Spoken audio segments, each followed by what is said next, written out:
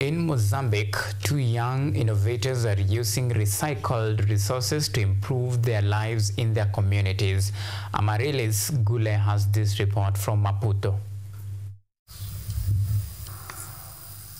Under the shade of a mango tree, 17 years old Nelio Mazivila has built a makeshift laboratory.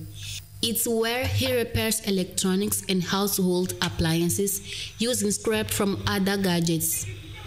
Uh, a maior parte do material que uso aqui é reciclado, material de sucata.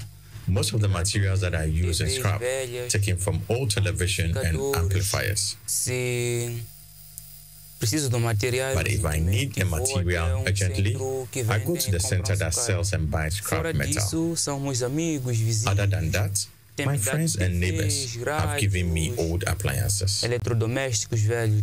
Mazivila says he can provide clean, sustainable energy and lighting with batteries by using something called an inverter. To change the battery's direct current to alternating current that runs most home appliances and lighting. Mazivila says it worked in his house, so should be able to work in an entire city block. O dispositivo é um inversor The device is an inverter that inverts direct current from a battery to alternating current for residential use. With the device I have here, I can power three to four eu tenho aqui, houses. posso alimentar três, quatro casas. A few blocks from Nelio's lab, another 17 years old young man, Clayton Mishak, began his journey of invention by building toy cars and robots, although his real passion was drones.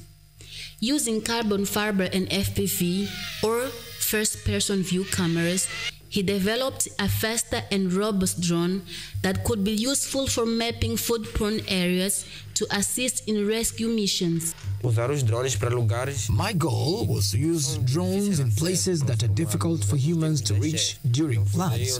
That's when I thought about making the drones indestructible, flexible, and fast. Possíveis rápidos. Clayton intends to continue researching to take his invention to a higher level. O que me motivou também foi What also motivated me was not to leave Mozambique behind in terms of knowledge. So, as I have knowledge of these types of drones and the research that is being done in other countries, I ended up creating something that could show that in Mozambique there's also knowledge. Despite having no formal education and never having met in person, both young innovators continue to inspire each other through social media. They now hope that public and private companies and individuals will come and enable them to grow their expertise and their future.